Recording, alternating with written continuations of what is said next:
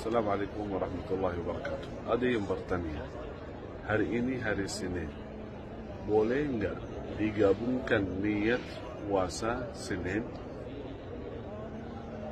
6 hari Syawal dan Ayyamul Bid. Ya, Ayyamul Bid kan tanggal 13, 14, 15 Hijriah. Boleh enggak supaya dapat pahala yang banyak? Ya boleh. Karena jatuh hari Senin, di bulan Syawal 6 hari Syawal. Dan Ayyamul Bid dapat tiga pahala insyaAllah. Tapi utamakan niat puasa Syawal. Jatuh hari Senin dapat puasa fadilah puasa hari Senin. Jatuh di hari Ayyamul Bid dapat puasa Ayyamul Bid boleh digabungkan niat ibadah sunnah. Contoh masuk masjid. Ada yang bertanya juga sering bertanya seperti itu.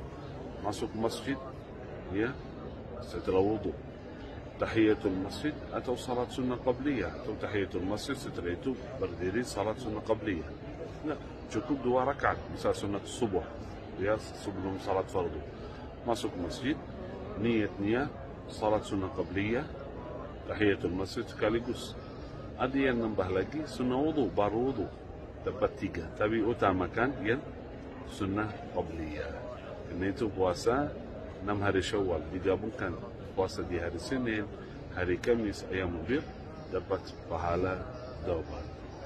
Tapi digabungkan dengan puasa qada Ramadan tidak boleh. Saya ulangi lagi.